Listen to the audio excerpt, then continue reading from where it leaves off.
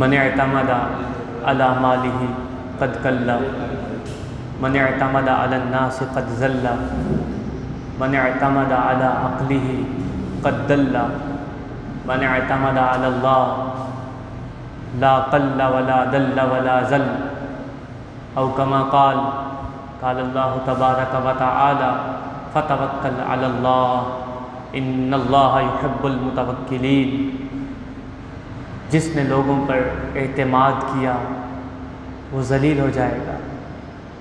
और जिसने अपने माल के ऊपर एतमाद किया, माल ख़त्म हो जाएगा। जिसने अपनी अक्ल को काफ़ी समझा तो अक्ल को काफ़ी समझने वाला गुमराह हो जाएगा। जिसने अपने तमाम कामों को अल्लाह के सपुर्द किया, माल के मामले में, अक्ल के मामले में इल्म के मामले में, हर मामले में अल्लाह पर यकीन किया, अल्लाह पर एतमाद किया। फसयकफ़ी कहमुल्ला तो अल्लाह उसे काफ़ी हो जाएगा और अल्लाह सुनने वाला और जानने वाला है। और अल्लाह फरमाता है, अहले ईमान को चाहिए कि वो अल्लाह पर तवक्कुल करें।